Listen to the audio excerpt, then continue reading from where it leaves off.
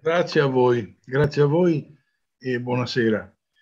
buonasera. Sono molto contento di questo incontro perché, come potete capire, i libri si scrivono per far camminare delle idee, soprattutto per far girare delle idee, per mettere insieme persone che le condividano, perché fare una critica al controriformismo di sinistra non è una cosa semplice. Si tratta di convincere un sacco di persone, si tratta di condividere appunto delle, delle analisi. Quindi davvero grazie, per me è un, un grande, una grande soddisfazione. Eh, io devo stare in un tempo breve, quindi sarò molto schematico, mi scuso di questo, non sarò analitico, però prima di tutto vorrei precisare eh, due concetti fondamentali. Cosa intendo per riforma e cosa intendo per controriforma. È importante capirlo. Per me, per controriforma è qualcosa che peggiora le cose, è qualcosa che non è coerente ad un disegno, è qualcosa, tra virgolette, che, eh, che peggiora un diritto. Faccio un esempio. La riforma del titolo quinto non è una semplice riforma della Costituzione, per me è una controriforma, perché da quella controriforma il sistema sanitario, ma non solo il sistema sanitario, è peggiorato enormemente. E chi ha patito le peste di questo peggioramento sono i cittadini.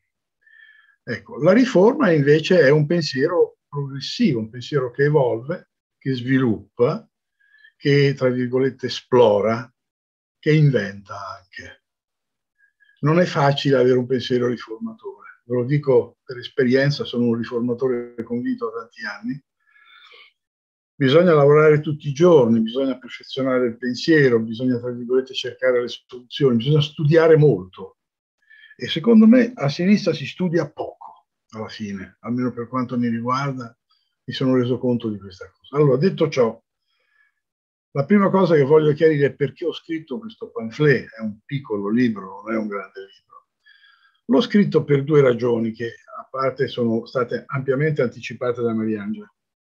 La prima cosa, mi sono reso conto che le criticità che ci sono nel sistema sanitario pubblico stanno peggiorando. Cioè le cose non vanno bene, io parto da un principio di realtà, le cose non vanno bene, le disuguaglianze aumentano, il processo di privatizzazione continua a crescere, eh, la sanità pubblica ha sempre più problemi e i rischi non, non vengono meno. Mariangela citava il regionalismo differenziato, nella recente nota al DEF che è stata fatta, di notte hanno aggiunto il regionalismo differenziato, che è una cosa che voglio, che voglio rimarcare per una ragione molto semplice, perché a certa gente neanche 20 pandemie eh, servono per far capire loro che serve uno Stato centrale, che serve uno Stato che governa certi processi, eccetera, eccetera. Ecco. Quindi esistono tante criticità. La seconda preoccupazione, la seconda, la il secondo motivo per il quale ho scritto questo pamphlet è che è uscito il PNRR. Cioè è uscita la nostra risposta alla pandemia ed è un PNRR che, ha, che ha molto poco di riforma. È molto tentato invece da alcune cose di controriforma, quindi mi preoccupa che noi diamo una risposta inadeguata alla pandemia. La pandemia, come voi sapete, ha avuto il pregio un po' di dire la verità su come stavano le cose, no? lo, lo, sapevamo già come stavano le cose, non avevamo bisogno della pandemia, però la pandemia è stata un'evidenza inconfutabile. Ecco, queste sono le due cose dalle quali sono partito. Per esempio nel PNR una cosa che mi ha molto colpito ho tra l'altro detto incidentalmente, abbiamo un, un, ministro della salute che è di articolo 1, cioè un ministro della salute che è di sinistra. Ecco, nel piano, nel PNRR, non c'è un solo accenno alla necessità almeno di contenere il processo di privatizzazione, non dico di sconfiggerlo, contenerlo. Noi abbiamo un sistema assicurativo che è incentivato dallo Stato, riceve degli incentivi fiscali. Io ho fatto una battaglia andata male evidentemente per dire almeno togliamo questi incentivi. Non dico di ritornare alle 833, ma non c'è verso di, di passare da questa cosa. Queste le ragioni. La tesi politica fondamentale di questo libro qual è? È che nella sanità, lo sanno tutti coloro che ci, che, che ci stanno ascoltando, esistono indubbiamente delle criticità oggettive, nessuno lo discute.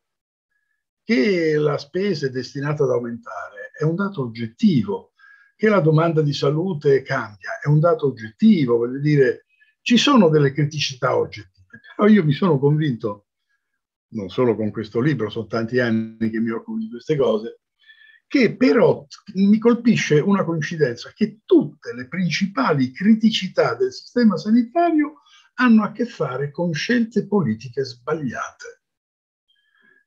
Quindi hanno a che fare con la politica. Cioè il tentativo di questo libro era un po' di non di spostare l'attenzione dalle criticità oggettive alla politica, ma di, di mettere al centro, diciamo, della nostra riflessione il ruolo della politica, le capacità della politica, eh, la capacità di scegliere da parte della politica, perché purtroppo le principali, ripeto il concetto, le principali criticità che abbiamo nel sistema sanitario pubblico derivano da errori del passato. Faccio un esempio. Abbiamo le disuguaglianze in crescita. Ma le disuguaglianze sono state create dalla riforma del titolo quinto e la riforma del titolo quinto non è capitata dal cielo, è stata una scelta. Mariangela faceva anche un riferimento politico Ecco. Abbiamo una situazione ospedaliera, Chiara Rivetti lo sa meglio di me, piena di problemi. Abbiamo crisi negli organigrammi, non troviamo più i medici. So, so che la NAO su questa cosa insiste un giorno sì, un giorno pure, perché si pensa ad una sanità senza operatori, si vogliono aumentare le tecnologie, fare interventi strutturali senza operatori, ecco, eh, aumentare i posti letto nelle intervenze, eccetera. Voglio dire, ehm, ci sono delle criticità che dipendono appunto da scelte politiche sbagliate. Noi abbiamo le criticità degli ospedali, ma dipende, che vengono fuori da politiche di deospedalizzazione che sono durati anni. Il PNRR ci ripropone il DM70, la Rivetti conosce benissimo di cosa parlo, che è un regolamento, signori, che no, dopo una pandemia continua a mantenere gli ospedali come erano prima della pandemia, con qualche piccolo ritocco alle terapie intensive e semi-intensive. Ecco. Allora il concetto lo ripeto, la mia impressione è che i problemi più grandi della sanità siano di derivazione politica, cioè mh, i problemi oggettivi della sanità si risolvono a certe condizioni se non ci sono queste condizioni, probabilmente non solo si risolvono, ma si complicano, si complicano enormemente. Qual è l'altra tesi principale? Sto proprio schematizzando del libro, perché ho ricostruito questi vent'anni, perché tra la Bindi e Speranza sono vent'anni, grosso modo. La, la, riforma della Bindi era del 99, quindi... Eh. E, e ho scoperto che non solo c'è un, una responsabilità della politica, ma nella politica c'è, e questo mi riguarda da vicino perché io mi considero un, un intellettuale di sinistra da sempre, ehm, nella politica c'è un ruolo preciso della sinistra di governo. Cioè quando dico ci sono responsabilità legate alla politica, dovrei dire ci sono responsabilità legate in particolar modo alla sinistra di governo perché certe decisioni sono state prese dalla sinistra di governo. Si citava De Lorenzo, ma nel 99 la Bindi, che non è certamente una persona non di sinistra, ha ribadito le controriforme del 92, anzi addirittura le ha peggiorate, secondo me. Ecco, quindi voglio dire, e quando parlo di sinistra di governo, parlo di una sinistra estesa. Eh, Mariangela parlava di De Lorenzo. De Lorenzo ha fatto la controriforma nel 1992.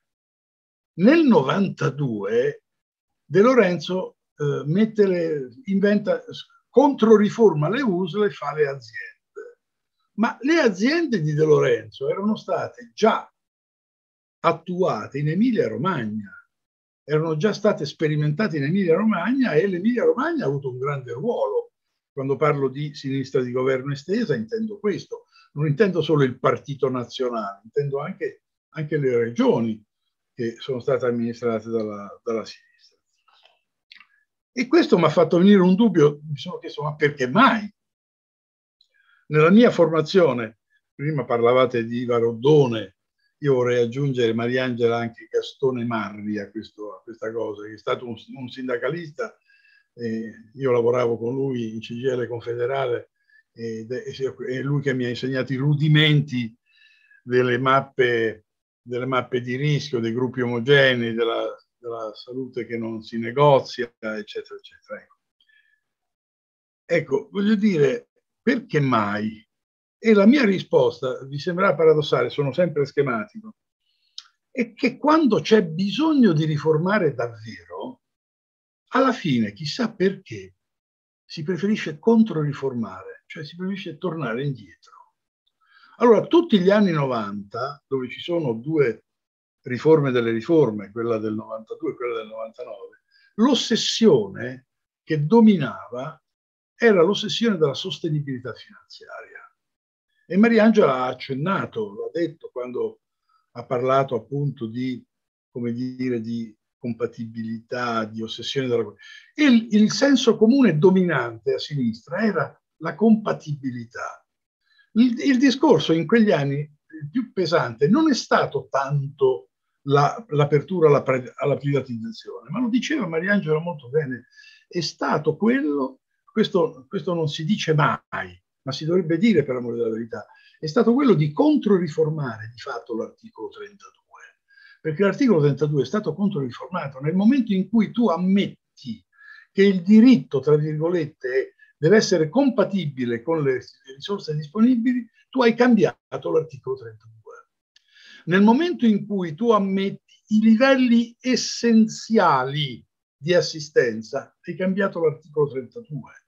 Nel momento in cui immetti le aziende, le aziende sono vincolate all'economicità, tu, tu cambi l'articolo 32 nei fatti e questo è stato. Quindi noi abbiamo, abbiamo vissuto un periodo dove per rispondere alla sostenibilità sembrava a sinistra che l'unico modo fosse, come dire, spostarsi verso l'orizzonte neoliberista.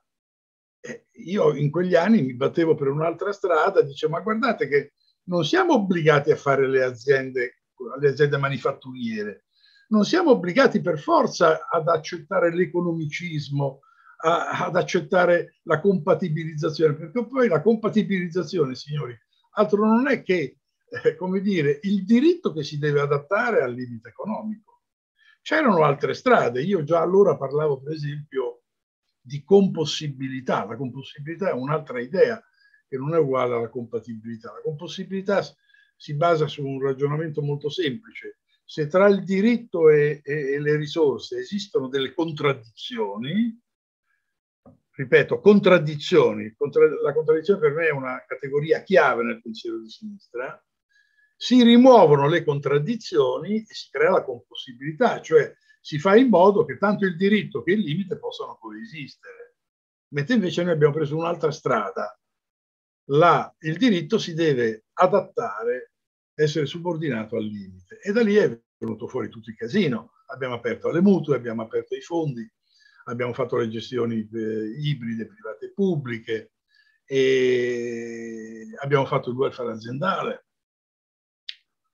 Abbiamo fatto il welfare aziendale, sì, infatti, che poi, che poi è stato perfezionato da, da, Renzi, dal Job Act, cioè dal, da quegli incentivi dati all'impresa e tra gli, incentivi da dare all'impresa per ridurre il costo del lavoro c'era anche il welfare on demand. Ecco. Allora, il, il, punto che vorrei discutere un po' è, ma insomma, ma questo nostro sogno riformatore è, è proprio impossibile? Io non credo che sia impossibile. È possibile, ma certe, con certe idee, con un certo pensiero. Cioè non accetto che dobbiamo per forza svoltare verso il neoliberismo. Non, non, è, non c'è nessuna evidenza che ci dica, ci dica, che questo lo doveva fare per forza. Chi ci ha detto che dovevamo per forza riaprire le mutue? Alle mutue. Non è vero, potevamo prendere altre strade, però non le abbiamo prese. Allora, io voglio dire una cosa, Mariangela, alla quale tengo molto. Ovviamente quando, quando, ho scritto questo libro ho pestato molti calli nel nostro, nel nostro schieramento e mi, me ne dispiace molto, devo dire. Non dico che ho perso dell'amicizia, ma quasi. Ecco, ma, ma, fa parte del gioco e non mi, non mi pento di quello che fa.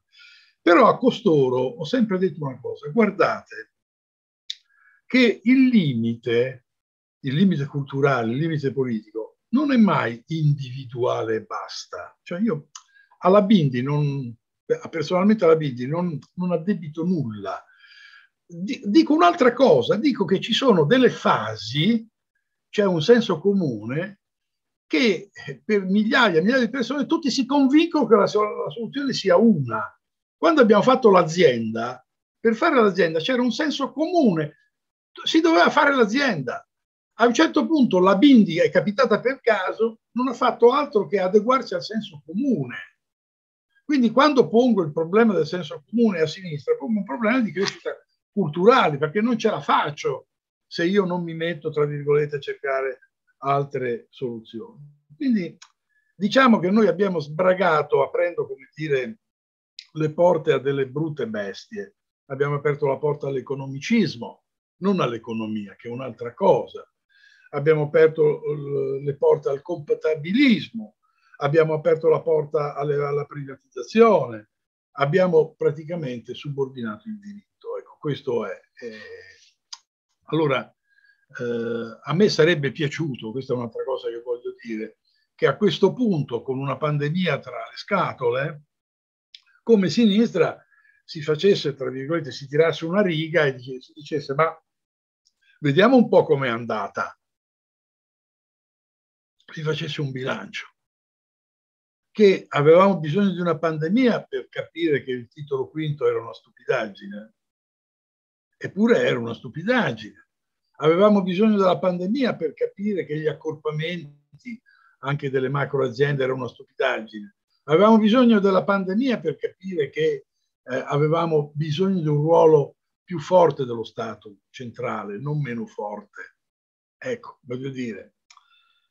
E questo, non so, anni fa, prima di questo libro, io scrissi un altro libro per me importante, perché erano tutte fasi di, di, di presa di coscienza che si chiamava, il titolo era Il riformista che non c'è.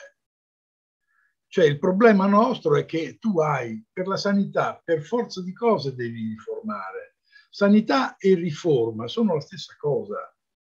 È impensabile che tu prendi un treno, lo metti sul binario 40 anni prima e che questo va dritto per la sua strada. Ogni tanto devi intervenire, aggiustare, cambia la domanda, cambia il contesto sociale, cambia la cultura, cambia la, la congiuntura finanziaria. Se tu non riformi, metti in difficoltà la, la sanità. E noi invece cosa abbiamo fatto? Abbiamo controriformato.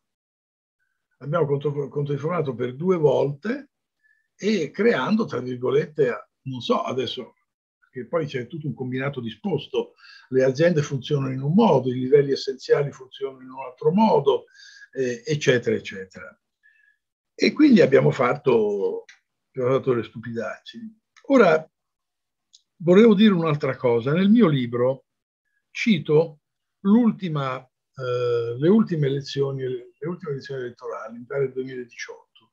Vi ricordate? Furono delle elezioni nelle quali il PD fu sconfitto in maniera plateale. E io sono stato colpito da quello che ho chiamato anche scherzosamente il cambio dall'anoressia alla bulimia, cioè un partito di sinistra che dopo anni e anni e anni di restrizioni finanziarie, di definanziamenti, di sottofinanziamenti, improvvisamente dimentica tutto e comincia a teorizzare il finanziamento a go-go, dobbiamo ridare soldi, commettendo lo stesso fondamentale errore, perché io non so, ovviamente sono favorevolissimo al rifinanziamento della sanità e questi due miliardi che ha rimediato Speranza mi fanno un gran piacere. Spero, Chiara, che li spenderemo per assumere degli operatori, eh, perché questa è la vera, la vera, priorità. Spero molto, perché col PNR di gente ne assumiamo molto poco, eh. è bene che lo sappiate questo. Ecco, improvvisamente noi abbiamo questo cam- cambio di linea politica dal, dall'economicismo più spinto passiamo a questa prodigalità e abbiamo aumentato parecchio il fondo sanitario. Insomma, adesso abbiamo un bel fondo sanitario, non possiamo lamentarci. Però ecco, anche questo senza un pensiero riformatore. La mia preoccupazione di fondo, Mariangela, anche perché io nasco da ragazzo, nasco con, la, con il crollo delle mutue. Il crollo delle mutue è avvenuto perché è avvenuto sotto i debiti. Cioè il problema della sostenibilità non ce l'abbiamo solo noi, ce l'avevano già ai tempi della mutua. Noi abbiamo cambiato sistema per ragioni di sostenibilità e la riforma che abbiamo fatto doveva essere la nostra risposta alla sostenibilità all'insostenibilità del sistema mutualistico. Allora io temo che adesso arrivano i soldi, mai visti tanti soldi in vita mia, ripeto, ne sono molto contento. Però io temo che senza un progetto di riforma, senza un pensiero riformatore, si andrà a sbattere di nuovo sui problemi dell'insostenibilità.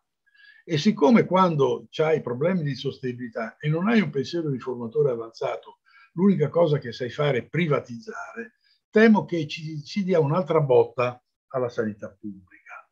Un'altra botta alla sanità pubblica. Cioè io penso che dobbiamo mettere a punto un sistema più avanzato. Siccome c'è anche medicina democratica, che saluto eh, affettuosamente, voglio dire una cosa si parlava, Mariangela prima parlava della prevenzione. No? Allora, questa pandemia ha spazzato via i nostri sistemi di prevenzione. Voi sapete che noi abbiamo i dipartimenti di prevenzione. E nel PNRR di Speranza c'è scritto sulla prevenzione dobbiamo incentivare la prevenzione. Va bene. Poi Speranza va al G20 sulla salute e ci propone One Health. One Health è un'idea di salute globale, cioè integrata, cioè un'idea di salute che mette insieme l'ambiente, mette insieme eh, il mondo del lavoro, mette insieme il mondo urbanistico, eccetera, eccetera. È un'idea, dicono, olistica, chiaro. Noi non abbiamo proprio un'idea olistica di prevenzione dal punto di vista istituzionale, tant'è che noi abbiamo ancora il Ministero dell'Ambiente da una parte e il Ministero della Salute dall'altra parte noi abbiamo ancora i dipartimenti di prevenzione da una parte e le agenzie per l'ambiente dall'altra. Quindi voglio dire, la pandemia ci dice rivestite in prevenzione, ma ridefinitela la prevenzione, perché non potete andare avanti con i sistemi che abbiamo. Ecco, tutto questo non c'è nel PNRR. Anzi, vi devo dire che mi ha molto stupito, perché nel PNRR, nella parte introduttiva, a un certo punto si specificano i settori che devono assolutamente essere riformati, che sono tre, la pubblica amministrazione, la giustizia e la concorrenza. Non compare la sanità. E mi sono chiesto, ma perché? Caspita, c'è crollato il mondo addosso e non sentiamo il bisogno di riformare la sanità. No, non c'è. Perché la teoria politica di speranza, con la quale non sono per niente d'accordo, è quella di potenziare quello che c'è. Cioè la lettura che dà speranza della sanità è questa. Con la pandemia sono venute fuori le carenze. Quindi io adesso metto un po' di distretto in più, un po' di tecnologia in più, qualche letto in più nella, nelle nelle rianimazioni, eccetera, eccetera, e ho risolto il problema. Non è così. Non è così. Noi abbiamo bisogno come il pane di riformare la sanità per rispondere adeguamente non solo alla pandemia, ma alle criticità del sistema sanitario. Ecco, finisco qui aggiungendo, aggiungendo solo una piccola cosa, che nel libro io propongo la quarta riforma. La quarta riforma è, non è una riforma bis, tris, eccetera, è semplicemente prendere l'833, prenderla in mano, fare le cose che non abbiamo fatto, perché secondo me abbiamo riformato poco, quindi bisogna riformare di più, e soprattutto far evolvere il pensiero, cioè trovare soluzioni nuove, no? Una, non ho il tempo di parlare, di discuterla, ma il grande problema del lavoro, il grande problema delle prassi, il grande problema delle professioni, la riforma sanitaria non l'ha affrontato nel 78 e adesso noi lo dobbiamo affrontare. Mi limito solo a questo.